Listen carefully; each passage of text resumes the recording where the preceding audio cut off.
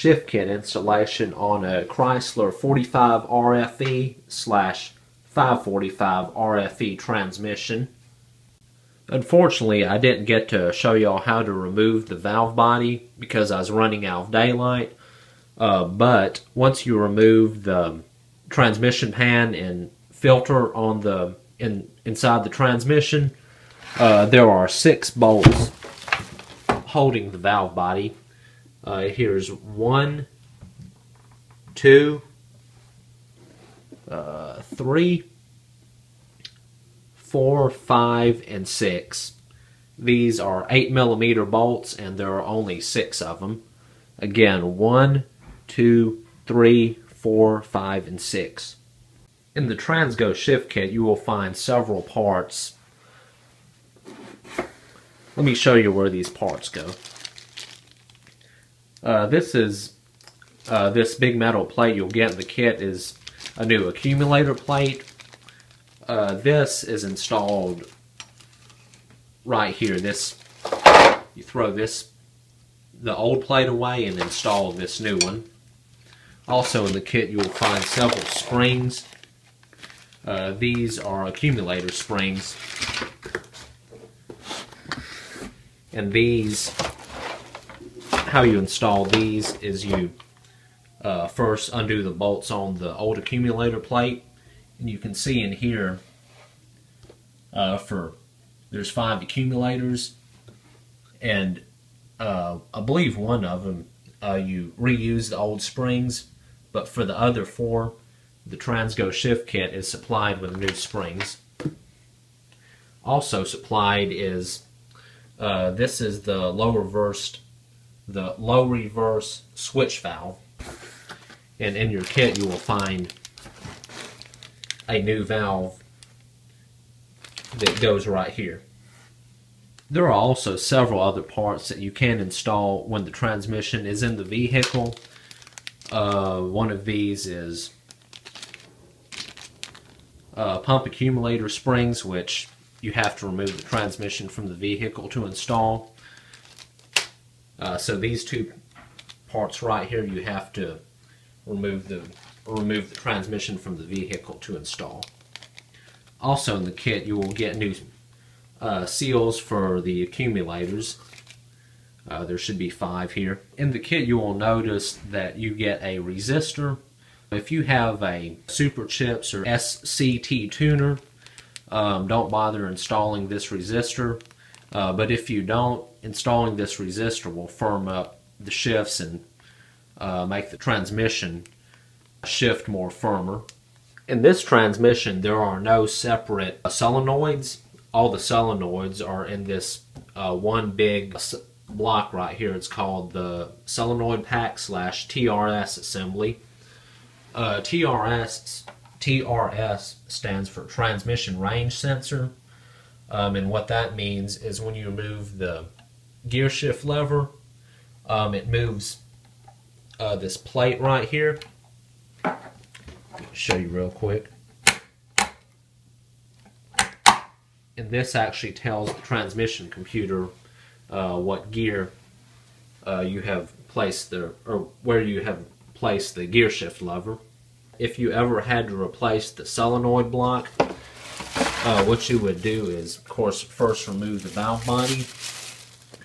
And back here, um, starting at this screw, uh, it forms a rectangle. So to remove the solenoid block, you would remove uh, one, two, three, four, five, six, seven, you can see that it forms a rectangle right here and of course you would remove all the uh, screws inside the rectangle and uh, then you could remove the solenoid block. When reinstalling the valve body and the transmission um, it's very important that uh, this piece right here is in the correct position.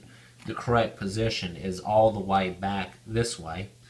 Uh, this is uh, park if you do not do this, uh, you can install the valve body and you can cause some damage. Okay, let's get started.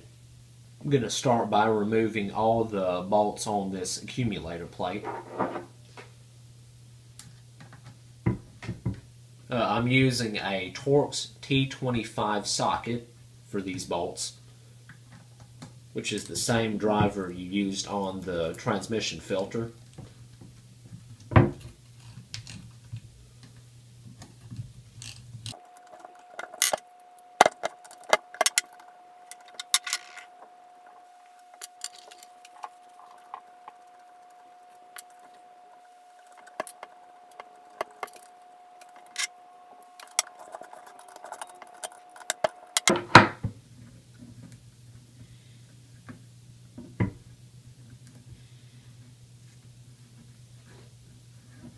By the way, this side it seems to be under uh, some spring tension, so keep mind of that when removing the bolts.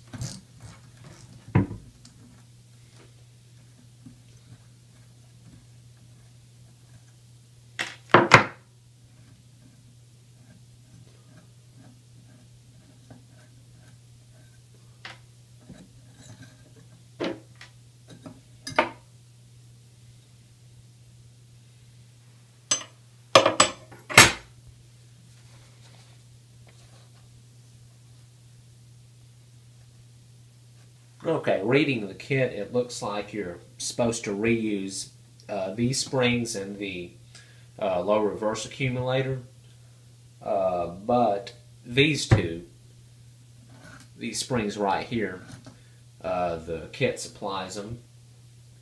Uh, you reuse the underdrive. This is the underdrive accumulator. Um, you're supposed to reuse this spring and you're supposed to replace this spring.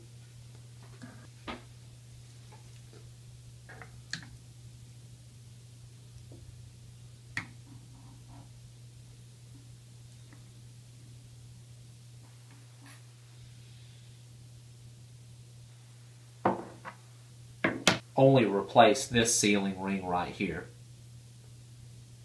The, the front ring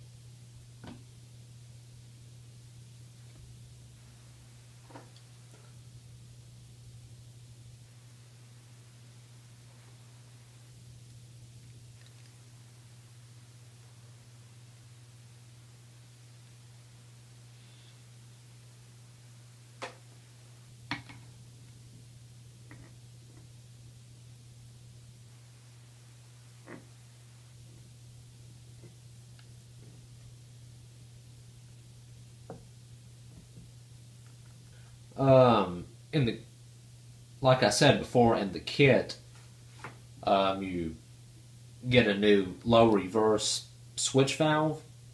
I found that an easy way to uh, remove remove, uh, remove this valve is to place your hand over uh, this hole right here, which I guess goes to the low reverse clutch, uh, and this will create a vacuum. And if you pull back on the uh, low reverse valve and push in, uh, the sealing plug for the low reverse valve will come out, or the sealing plug for the low reverse valve will come out and you can remove it easily.